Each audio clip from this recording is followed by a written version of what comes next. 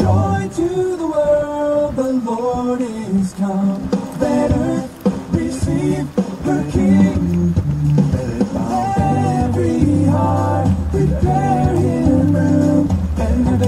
and heaven